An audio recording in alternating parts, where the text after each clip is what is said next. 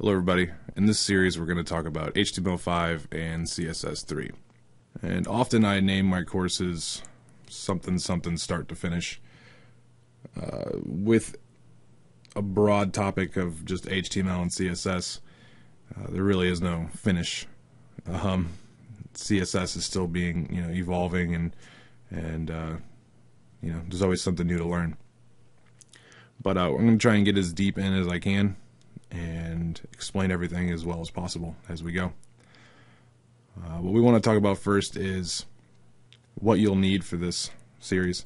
At the very least, you need some sort of text editor, uh, like Notepad. Um, we're going to be using Adobe's Dreamweaver in this course because I pay for it. I might as well. Um, there are other options that are free, such as Notepad++, which is a great text editor that has uh, code formatting and, and things like that built in.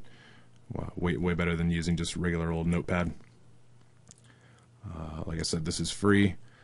If you want something a little more robust, similar to Dreamweaver, you can look at something like Aptana, which is built off the Eclipse IDE.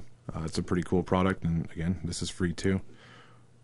Or if you are a member of the Adobe Creative Cloud, uh, you already have Dreamweaver or you have access to Dreamweaver, and you can simply download it like I said, we're going to be using Dreamweaver here. You can use an application like Notepad++, which I'm showing you right here. Um, there are plugins to make this a little more similar to Dreamweaver. The main thing you're missing out of the box is uh, an FTP option, and uh, you can download that plugin uh, online. But since we're merely working with HTML and CSS, having FTP access isn't necessarily important. We don't need hosting or anything like that. You don't need to have a server installed on your on your computer.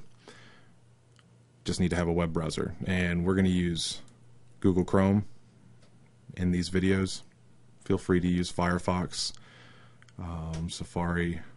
If you want to be dangerous, use Internet Explorer. Um, but yeah, so a browser, text editor of some sort, and we're good to go.